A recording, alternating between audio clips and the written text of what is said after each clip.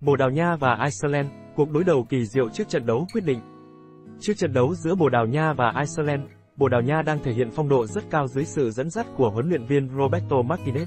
Đội bóng này đã giành 27 điểm từ 9 trận, ghi 34 bàn và chỉ thủng lưới 2 lần. Tiền đạo Cristiano Ronaldo vẫn là cô máy ghi bàn với 10 lần lập công trong vòng loại, ngang ngửa với Lukaku của Bỉ. Mặc dù đã bước qua tuổi 38 và chơi cho câu lạc bộ Ả Rập Saudi, Ronaldo vẫn sở hữu khả năng ghi bàn đáng kinh ngạc. Ông đã ghi 46 bàn và có 12 kiến tạo trong năm 2023, khẳng định vị trí của mình.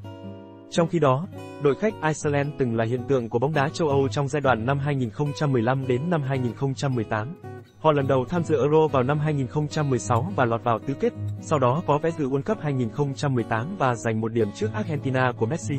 Tuy nhiên, sau năm 2018, Iceland đã trải qua giai đoạn sa sút, không thể vượt qua vòng loại Euro 2020 và World Cup 2022. Họ tiếp tục thất bại ở vòng loại Euro 2024 và đứng thứ tư ở bảng G. Iceland từng gây khó khăn cho Bồ Đào Nha tại Euro 2016 khi cầm chân Selecao châu Âu. Tuy nhiên, hiện tại, khoảng cách về trình độ giữa hai đội quá lớn, và Iceland khó tránh khỏi thất bại trước một Bồ Đào Nha vượt trội.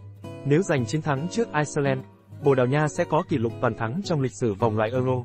Trận đấu gần nhất giữa hai đội diễn ra vào tháng 6 với chiến thắng 1, không cho Bồ Đào Nha nhờ bàn thắng muộn của Ronaldo, và Bồ Đào Nha luôn ưu thế trong lịch sử đối đầu với Iceland.